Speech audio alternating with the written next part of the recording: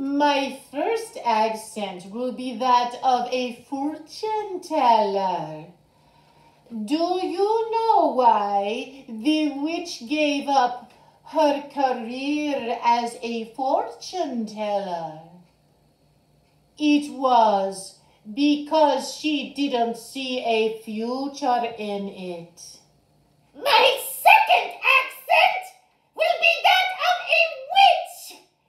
I want to know what happened to the angry witch on her broom. She flew off the handle.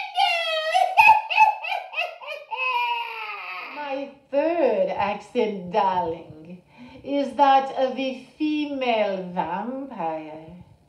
Do you know how a female vampire flirts? She bats her eyes, darling.